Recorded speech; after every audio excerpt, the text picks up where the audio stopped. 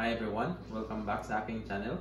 Ngayon ho, ay ipapakita ko sa inyo yung step by step ng paggawa ng ubi pandesal. So tara, simulan na natin.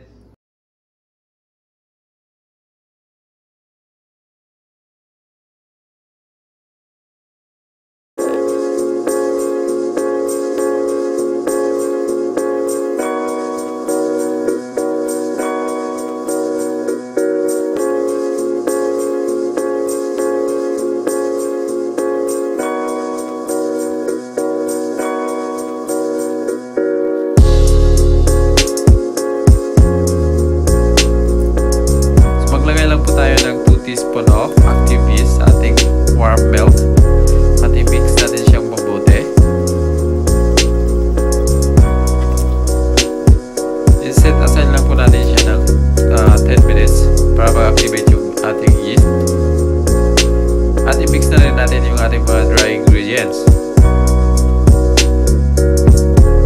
Ito po yung flour, bread flour, sugar, and a teaspoon of salt. I-mix lang po natin siya mabuti.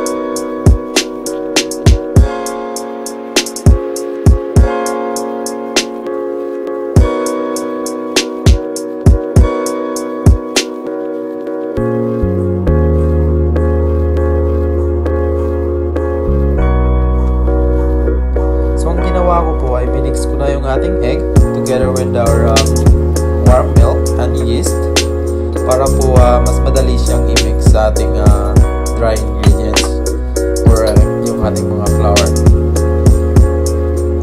So naglagay po ako ng 1 teaspoon of vanilla extract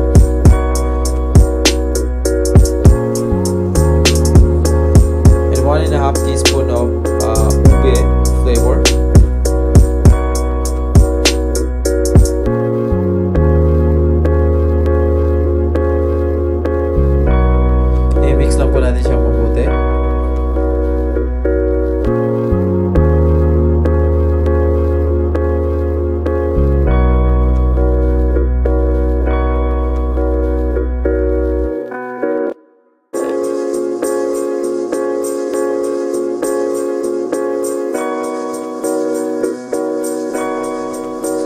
dinandaan ko lang po siyang ibuhos para mas madali po siyang i-mix.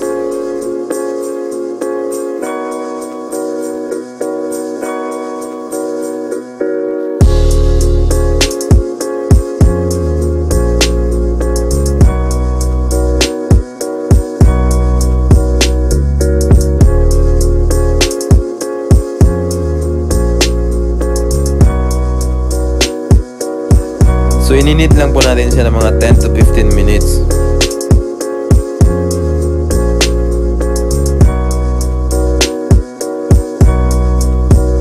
At isi-set aside natin siya for 1 hour.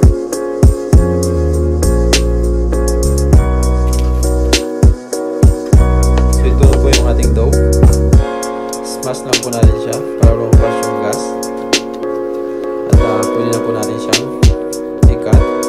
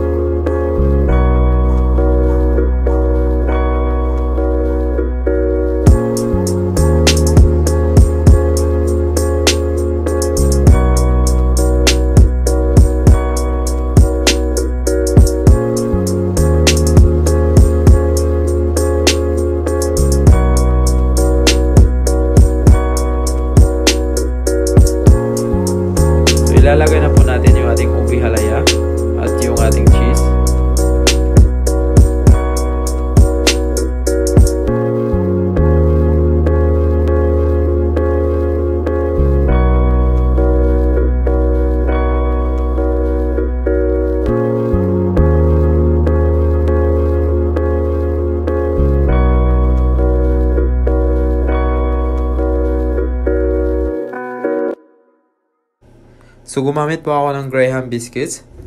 Pwede din po kayong gumamit ng breadcrumbs. Depende po sa inyo.